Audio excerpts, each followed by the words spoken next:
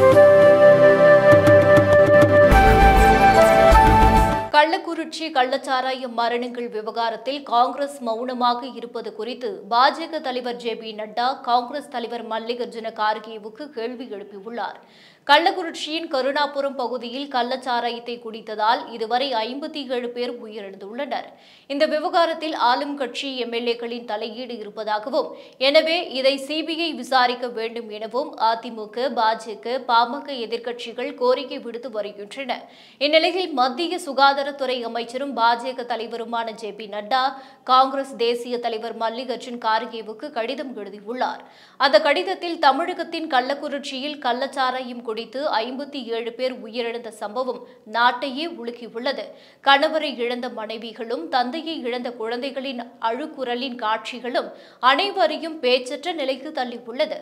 இந்த சம்பவம் நடந்தபோது உடனடியாக மக்களை காப்பாற்ற தேவையான நடவடிக்கைகளை மேற்கொள்ளாமல் தமிழக அரசும் காவல்துறையும் பிரச்சனைகளில் இருந்து தப்பிப்பதிலேயே மும்முரமாக இருந்தன. இதனால் மேலும் பலர் உயிரிழக்க நேரிட்டுள்ளது. இந்த சம்பவம் குறித்த விசாரணையை சிபிஐக்கு மாற்ற என்டி கூட்டணியில் உள்ள தமிழக முதல்வர் ஸ்டாலின் தொடர்ந்து மறுப்பு தெரிவித்து வருகிறார். மாநில காவல்துறையோ சிபிசிஐடி காவல்துறையினரோ நேர்மையான விசாரணை நடத்துவார்களா? கருணாபுரம் பகுதியில் பட்டியலின மக்கள் அதிகளவில் வசிக்கின்றனர் என்பது காங்கிரஸ் தலைவரான உங்களுக்கு நன்கு தெரியும். இவ்வளவு பெரிய துயர சம்பவம் நடந்தபோது காங்கிரஸ் கட்சி இதை பற்றி பேசாமல் மௌனம் காப்பது அதிர்ச்சியாக இருக்கிறது.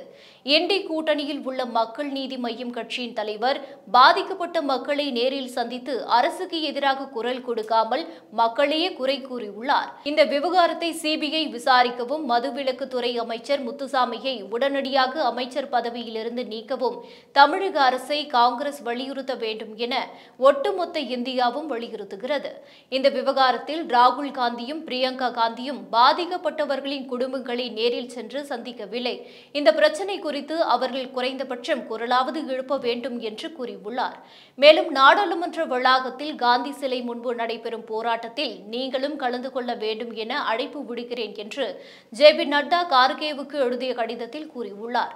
கள்ளச்சாராய மரணங்கள் விவகாரத்தில் போராட்டம் ஆளுநருக்கு கடிதம் என திமுக அரசுக்கு தமிழக பாஜக ஏற்கனவே நெருக்கடி கொடுத்து வரக்கூடிய நிலையில் நேற்று நிர்மலா சீதாராமன் இன்று ஜே பி நட்டா என மேலிட பாஜகவும் தற்போது களமிறங்கியிருப்பது தேசிய அளவில் கள்ளச்சாராய் விவகாரத்தை முக்கிய பேசு பொருளாக்கியுள்ளது